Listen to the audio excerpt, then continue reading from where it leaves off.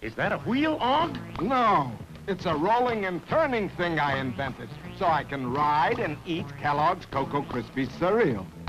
Ogg, I know this vitamin-fortified cereal tastes great with milk, but... Right, and Kellogg's Cocoa Krispies is especially fun to eat going down steep hills. It tastes like a chocolate milkshake, only crunchy. When I finish eating, I think I'll invent the brake.